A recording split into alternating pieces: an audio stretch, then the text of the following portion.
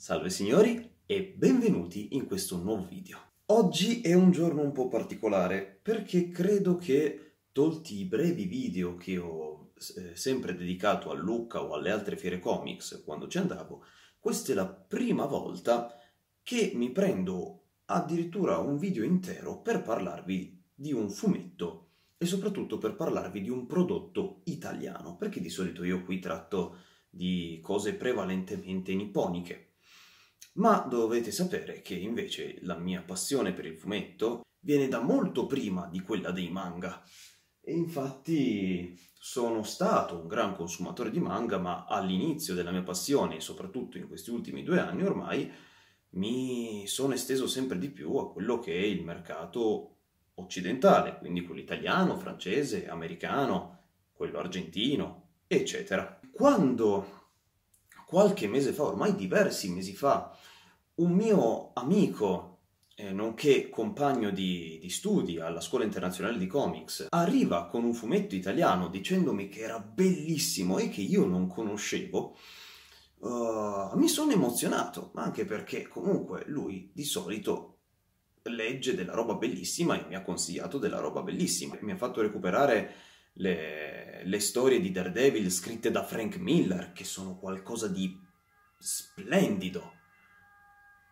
E quindi mi, mi passa questo volumazzo, perché è un omnibus, e eh, mi dice leggitelo. Io ci devolvo un pomeriggio intero e... Beh, prima di tutto vi faccio vedere di che cosa sto parlando. Metamorphosis, l'omnibus di Metamorphosis, di Giacomo Cason Bevilacqua. Questo autore probabilmente tutti voi ve lo ricordate principalmente per A Panda Piace, ma ha fatto anche questo e un altro fumetto chiamato Akira, forse, non mi ricordo bene, non mi sono ben informato.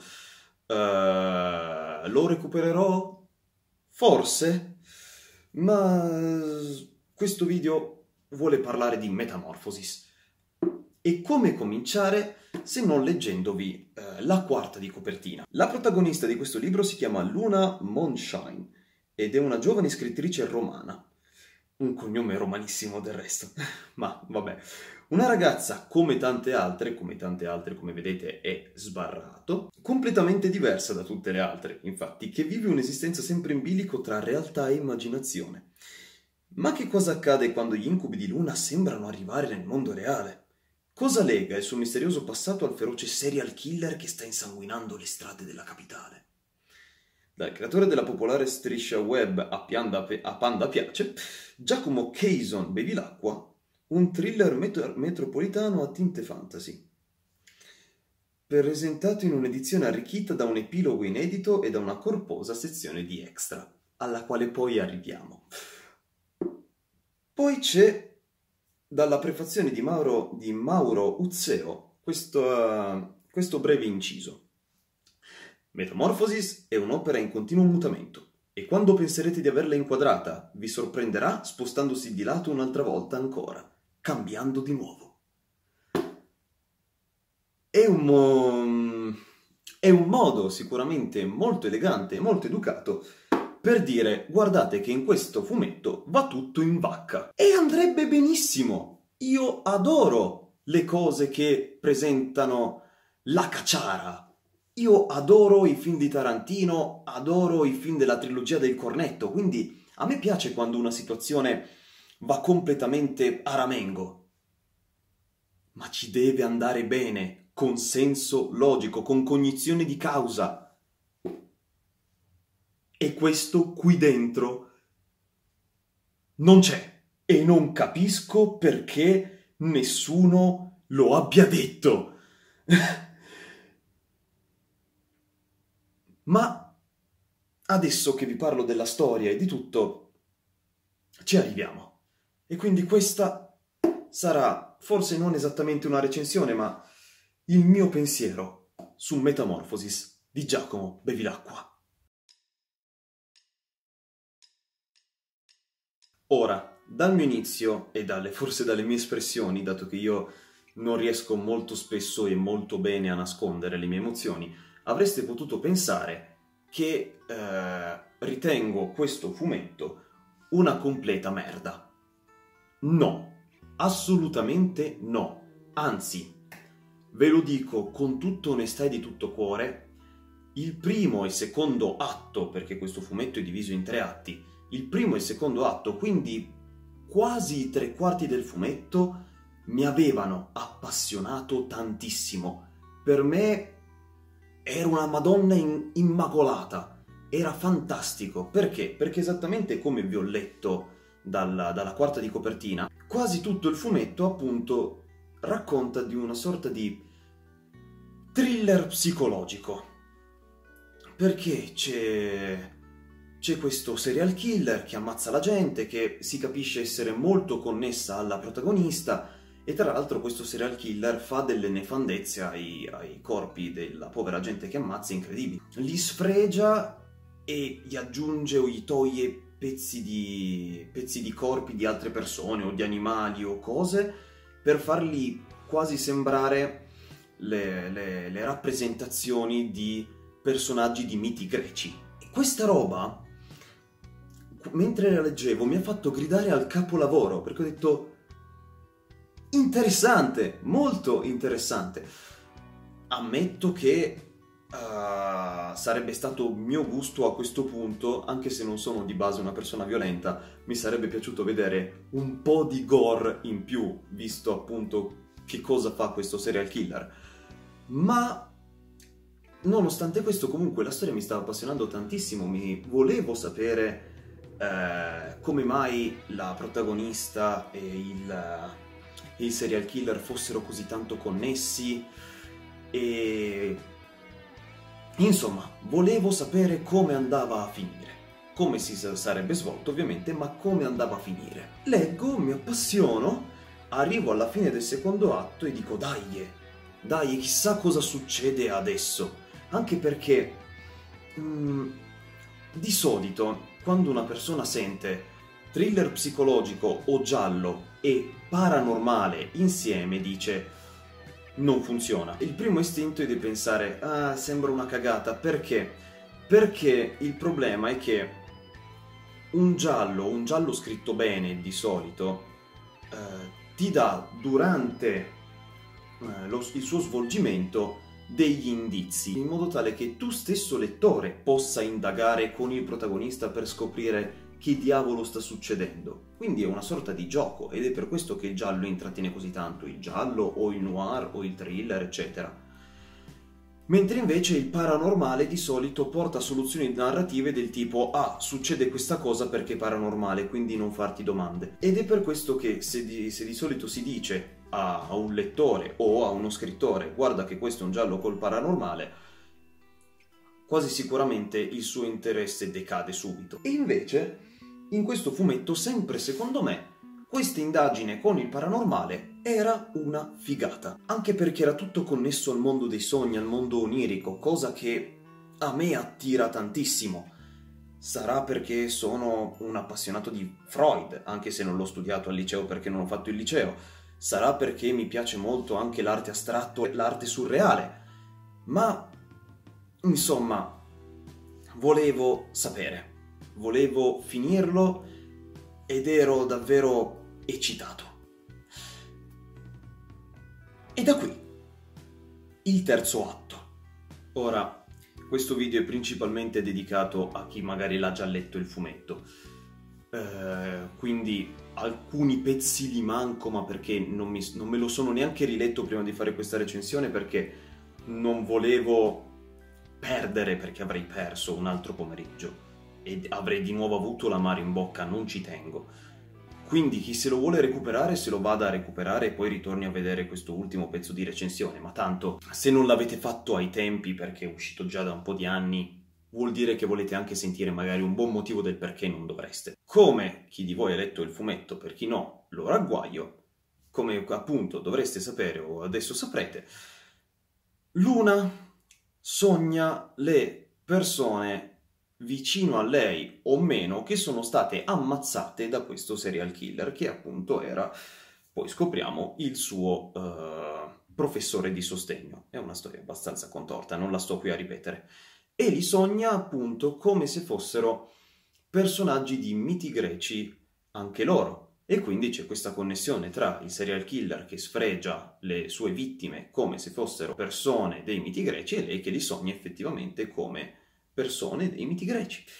A- e non li chiama neanche, sai, mamma, fratello, perché sono effettivamente sua madre, suo fratello e altre persone che lei conosce, ma li chiama con i nomi dei miti, quindi Aracne, Narciso, eccetera.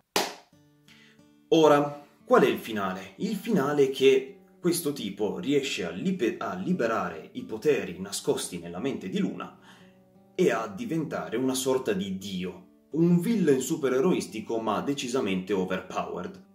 E da lì, quando l'ho letto, ho pensato ok, non c'è modo di uscirne. L'unico sarebbe che magari Luna in una scena molto commovente, molto strappalacrime, si ammazza, si sacrifica e se lo trascina dietro con lui, se no non si può risolvere. E vi stupirà sapere invece, oppure vi avrà stupito sapere, che la risolve, non ammazzandosi, ma con un altro sistema. Ed è la tirata in vacca più brutta che io abbia mai visto in un qualsiasi prodotto multimediale audiovisivo. Lei, nella sua mente, mh, mm, trasforma, mentre nei suoi sogni, le persone che il serial killer ha ammazzato in dei supereroi, e può farlo perché è, nel, è nella sua testa, e li riporta in vita. Seguitemi. Lei, dalla sua testa, da questo suo mondo immaginario, che potrebbe essere una dimensione parallela come no, mai spiegata questa cosa, li riporta in vita, li riporta in vita e in vita ci rimangono per sconfiggere questo cattivone. E da qui partono i combattimenti alla Marvel slash DC come li potreste vedere in Infinity War o in Endgame. Appunto, botte da orbi, poteri e alla fine sconfiggono questo villain e quelle persone che lei ha riportato in vita, io ho detto vabbè, piangeremo perché beh, già stavo piangendo dalle risate, un po' dall'incazzatura, ma poi c'è la scena commovente dove loro devono dire addio perché ok, possono tornare in vita, ma in vita non ci possono rimanere. Giusto? Giusto? E invece no! Invece no! Questa gente rimane in vita come se non fosse successo un cazzo!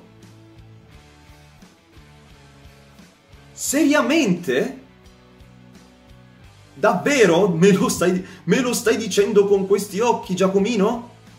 Davvero?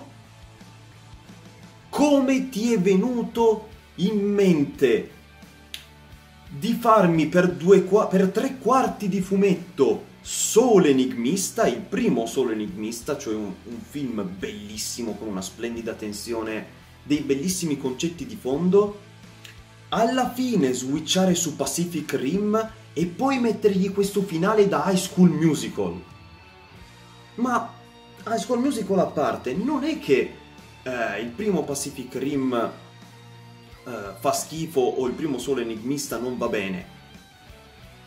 E che cozzano queste due cose, sono come le cozze e la Nutella. È come dire Xi Jinping, uh, Shinzo Abe, Salvini e la democrazia. Non c'entrano un cazzo insieme. Esattamente come in questo fumetto qui, l'hai mandata in vacca, in caciara, male. Ma non è come nei film di Tarantino, non è come nel recentissimo C'era una volta Hollywood o in Bastardi senza gloria, o volendo anche in Django praticamente in tutti i suoi film, o, nei, o in uh, Hot Fuzz o La fine del mondo o Shaun of the Dead, dove i plot twist finali che mandano tutto eh, in cacciara ci stanno. Qui magari avrebbero ancora un minimo di senso logico per la logica che è instaurato in questo mondo. Ma rispetto a tutta l'atmosfera che hai creato prima, la distrugge e la manda a pezzi. E questo rende purtroppo a malincuore Metamorphosis una delle più grandi delusioni a fumetti che io abbia mai letto. In poche parole, ora che mi sono forse un attimo calmato, che cosa volevo dire con questo video? Che mi rendo conto essere molto raffazzonato, ma perché non è esattamente una review, una recensione precisa, è, è più una cosa molto, senti- molto di sentimento, molto emotiva, perché è proprio delle mie emozioni che volevo parlare. Mi sono sentito pro- proprio sballottato così da una parte all'altra. Però non bene come intendono nella, nella, quarta di copertina, ma male, male, male. Se i primi due atti fossero stati un thriller psicologico che si chiudeva in quei due atti, e se il terzo atto fosse stato un fumetto completamente diverso, separato, di supereroi basati sui miti dell'antica Grecia. Non sarei qui a parlarne e non sarei qui a parlarne così, e questo è il senso. Cioè, nel primo caso avrei potuto apprezzare un fumetto thriller, che il thriller non è neanche un genere che molto mi si confa, io preferisco il, il noir, ma di gran lunga, piuttosto che il thriller psicologico, eppure lo avrei apprezzato, ne sono convinto. E allo stesso modo un fumetto basato sui supereroi, basati su quei miti là, mi avrebbe eccitato da morire, anche perché avresti potuto a questo punto, le parti parlo di persona, signor Bevilacqua, Giacomo, avessi tratto un intero universo, magari da portare addirittura al cinema, che cacchio ne so, con quei supereroi là sarebbe stato stupendo, stupendo. Non lo dico per prendere per il culo te o i tuoi fan, sul serio. Sarebbe stato bellissimo. E invece hai voluto mettere insieme Dieci piccoli indiani e One Punch Man. E non ha funzionato. Per me, modestissimo parere mio personale, da sceneggiatore, trovo che lo smontare la bellissima atmosfera che avevi creato prima solo perché effettivamente, secondo il filo logico strutturato, quella cacciara poteva anche starci, a me ha davvero devastato. Sono convinto che però gli altri fumetti tuoi non siano così, perché se no non credo che saresti così famoso, perché ok, a Panda piace, ma più o meno è come le canzoni tradotte con Google Translate da Sio. Si fosse fermato là, non ce lo ricorderemmo oggi. E quindi sono convinto che anche i tuoi altri fumetti valgano qualcosa. Prima o poi li recupererò. Ma Metamorfosi, secondo me, eh, rimarrà sempre una grande delusione. E que- una cosa voglio ancora dire per concludere ho l'omnibus e mi hanno prestato l'omnibus come ho già detto e quindi qui dentro ci sono extra, ci sono compendi ma a parte che mettere degli extra o dei compendi per andare a riparare delle pecche non è, secondo me, una gran cosa, non è una gran mossa, perché un fumetto va goduto nella sua interezza. Watchmen, se uno si legge gli estratti dal libro del primo gufo notturno o meno, se lo gode lo stesso. Ma comunque non c'è compendio o extra che possa andare a riparare le mancanze che ha questo fumetto. Ho solo parlato tra l'altro di quelle emotive, non ho voluto parlare di, di quelle magari secondo me di sceneggiatura o di trama o di cose, ma perché quello di cui ho parlato per tutto il video è il motivo principale che mi porta a dire ragazzi Metamorphosis eh, secondo me no